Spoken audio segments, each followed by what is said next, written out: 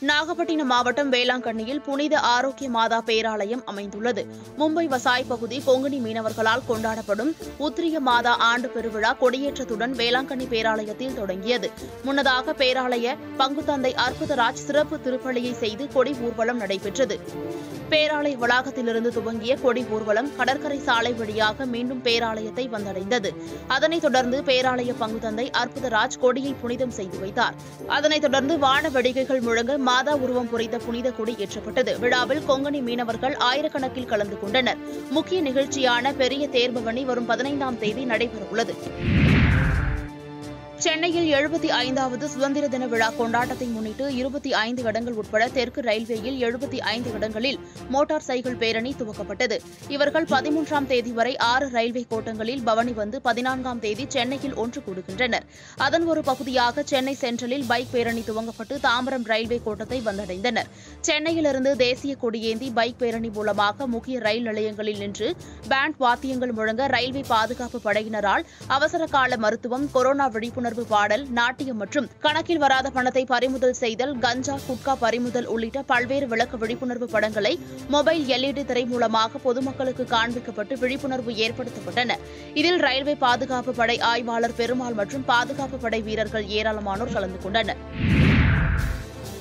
கும்பகோணம் அருகே மலையப்பநல்லூரில் உலகின் முதன் முதலாக இயற்கை விவசாயம் பாரம்பரிய நெல்லுக்கு மாபெரும் விழிப்புணர்வு ஏற்படுத்தும் வகையில் வயல் திருவிழா நடைபெற்றது. இந்த விழாவில் திருவள்ளுவரின் உருவ நடவு வயலை இயற்கை விவசாயி இளங்கோவன் என்பவர் நேபாள் மாநிலத்தில் உள்ள சின்னார் என்ற நெல் ரகத்தினாலும் மைசூர் மல்லி என்ற நெல் ரகத்தினாலும் திருவள்ளுவரின் உருவ அமைப்பில் நடவு செய்துள்ளார். இந்த தகவல் அறிந்த அரசு தலைமை கொறடா கோவி செழியன் விவசாயி இளங்கோவுக்கு சால்வை அணிவித்து வாழ்த்து தெரிவித்தார். இதில் மாநிலங்களவை உறுப்பினர் கல்யாண சுந்தரம் மயிலாடுதுறை பாராளுமன்ற உறுப்பினர் ராமலிங்கம் சட்டமன்ற உறுப்பினர் அன்பழகன் மற்றும் மலையப்பநல்லூர் ஒன்றிய குழு உறுப்பினர் பிரபுராஜ் ஆகியோர் நேரில் சென்று பார்வையிட்டனர். இதில் மாவட்ட விதை ஆய்வுத்துறை இயக்குநர் வித்யா வேளாண்மை உதவி இயக்குநர் கவிதா மலையப்பநல்லூர் உதவி வேளாண்மை அலுவலர் சாத்தாவு ஆகியோர் கலந்து கொண்டனர். தேனி அருகே அள்ளி நகரத்தில் புரட்சி பாரதம் கட்சியின் சார்பில் இரட்டைமலை சீனிவாசனார் பிறந்தநாளை முன்னிட்டு மாபெரும் ரத்ததான முகாம் நடைபெற்றது. இந்த ரத்ததான முகாமிற்கு தேனி மாவட்ட புரட்சி பாரதம் கட்சியின் மாவட்ட தலைவர் புரட்சி பாண்டி தலைமை வகிக்க மாவட்ட செயலாளர் புரட்சி ரெட் மாவட்ட துணை செயலாளர் தவமணி ஆகியோர் முன்னிலை வகித்தனர். இந்த முகாமில் ஏராளமான இளைஞர்கள் மற்றும் பொதுமக்கள் கலந்து கொண்டு ரத்த தானம் வழங்கினர்.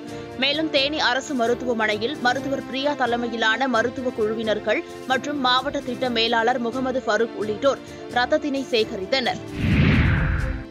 தமிழகத்தில் வாகன ஒளி மாசு விழிப்புணர்வு நடைபெற வேண்டுமென காவல் ஆணையர் உத்தரவிட்டுள்ளார். இதன் ஒரு பகுதியாக சென்னை வியாசர்பாடி அம்பேத்கர் காலேஜ் அருகில் போக்குவரத்து காவல் நிலைய ஆய்வாளர் தலைமையில் வாகன ஒளி மாசு விழிப்புணர்வு நடைபெற்றது. இந்த விழிப்புணர்வில் வியாசர்பாடி பகுதியில் உள்ள பள்ளிகளில் இருக்கும் மாணவ மாணவியர்கள் கலந்து கொண்டு நூற்றுக்கும் மேற்பட்டோர் கைகளில் பதாகையை வைத்துக் கொண்டு பேரணியாக நடந்து சென்றனர். பின்னர் மாணவ மாணவியர்களுக்கு போக்குவரத்து காவல்துறை சார்பாக நோட்டு புத்தகங்களும் பள்ளி உபகரணங்களும் வழங்கப்பட்டன.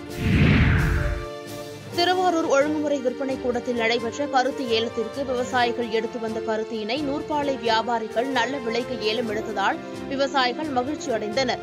திருவாரூர் விற்பனை குழு செயலாளர் மா அரசு தலைமையில் விற்பனை கூட கண்காணிப்பாளர் செந்தில் முருகன் முன்னிலையில் நடைபெற்ற பருத்தி மறைமுக ஏலத்தில் கும்பகோணம் பன்ருட்டி திருப்பூர் கோவை செம்மனார் கோவில் சார்ந்த வியாபாரிகள் கலந்து கொண்டனர். சராசரியாக ரூபாய் மூன்று கோடியே எண்பத்தி இரண்டு லட்சத்திற்கு பருத்தி பஞ்சு ஏலம் போனதால் விவசாயிகள் மகிழ்ச்சி அடைந்துள்ளனர். திருப்பத்தூர் மாவட்ட ஆட்சித்தலைவர் அமர் குஷ்வாகா பல்வேறு அரசு அலுவலகங்களில் திடீர் சோதனை மேற்கொண்டு ஒழுங்கீன நடவடிக்கைகளில் ஈடுபடும் அரசு ஊழியர்களை பணியிடை நீக்கமும் செய்து வருகிறார். இந்நிலையில் திருப்பத்தூர் வட்டாட்சியர் அலுவலகத்தில் ஆட்சியர் திடீரென ஆய்வு மேற்கொண்டார்.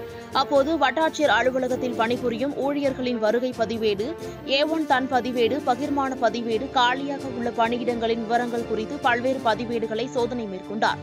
மேலும் பொதுமக்களின் மனுக்கள் மீது உடனடியாக நடவடிக்கை எடுக்கப்படுகிறதா என்றும் கேட்டார் கேட்டறிந்தார் தொடர்ந்து வட்டாட்சியர் அலுவலகத்தில் உள்ள இதர அலுவலகங்களான கோட்ட புள்ளியியல் அலுவலகம் சிறைசாலை இ சேவை மையம் உள்ளிட்ட அலுவலகங்களிலும் ஆய்வு மேற்கொண்ட அவர் காலியிடத்தில் ஆக்கிரமித்துள்ள மணல் மற்றும் குப்பைகளை அகற்றும்படியும் கழிவறையை சுத்தம் செய்யவும் உத்தரவிட்டார்.